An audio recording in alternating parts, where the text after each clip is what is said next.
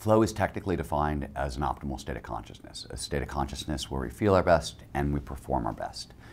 It refers to those moments of total absorption when we get so focused on the task at hand that everything else disappears.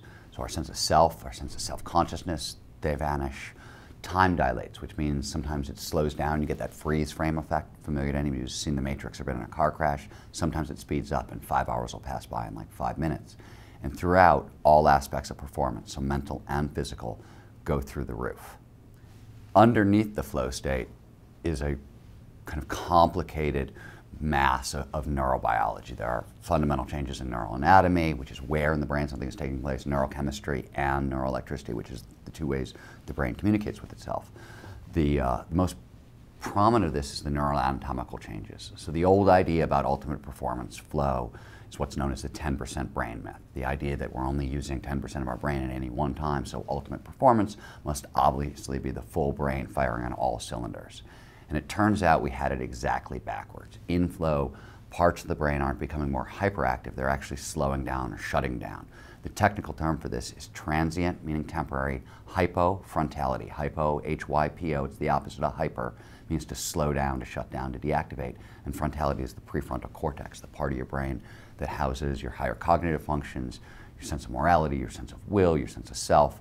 All that shuts down. So for example, why does time pass so strangely in flow? Because David Eagleman discovered that time is calculated all over the prefrontal cortex. When parts of it start to wink out, we can no longer separate past from present from future, and we're plunged into what researchers call the deep now. Transient hypofrontality is interesting. It was discovered back in the 90s and it had very negative connotations. It was found in schizophrenics and drug addicts. And then in the early thousands, Arne Dietrich, who was then at Georgia Tech, discovered or hypothesized that transient hypofrontality actually underpins every altered state dreaming, meditation, flow, drug addiction, doesn't really matter. And then in 2007, 2008, Charles Limb at Johns Hopkins, working with first uh, jazz musicians and second with rappers, was looking at flow in, in those contexts and found that the prefrontal cortex was shutting down as well. Though, depending on the altered state, you get different, different parts are shut down. Like in flow, one of the most uh, prominent examples is the dorsolateral prefrontal cortex shuts down in flow. This is the part of the brain that houses your inner critic. That nagging, defeatist, always on voice in your head turns off in flow. And as a result, we feel this is liberation, right? We are finally getting out of our own way. We're free of ourselves. Creativity goes up, risk taking goes up, and we feel amazing. My mission for the past 15 years has been sort of to reclaim flow research from the hippie community, from the New Age community, and put it back on a really hard science footing.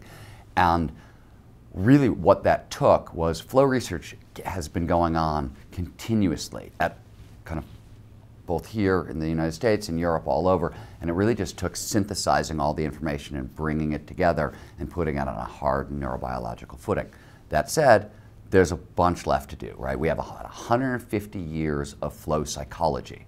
And flow science goes back all the way to the 1870s. In fact, some of the earliest experiments ever run in kind of early neuroscience and early kind of experimental psychology were run on flow.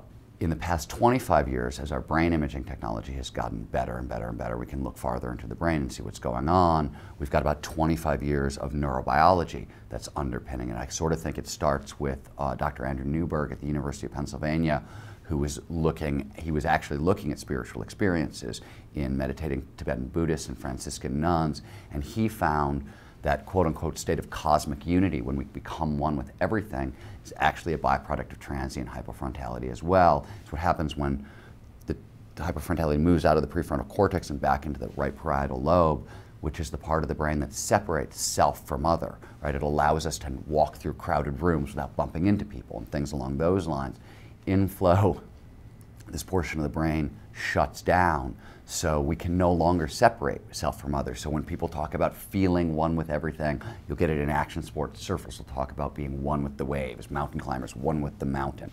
Whatever it is, for Buddhists, it's cosmic unity, it's one with the universe.